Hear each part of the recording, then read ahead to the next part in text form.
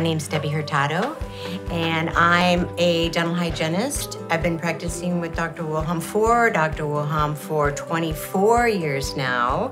I've had the delight of taking care of our wonderful, wonderful family of patients. And the reason that it's been such a wonderful experience is because Dr. Wilhelm takes care of his patients the way I would want myself and my family taken care of.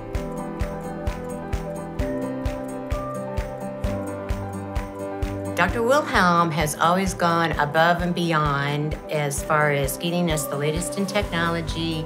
We've always been kind of the top of the game, and that's what makes it so wonderful to work and recommend the dentistry to my patients is because I know once they get in his chair, they're going to be all taken care of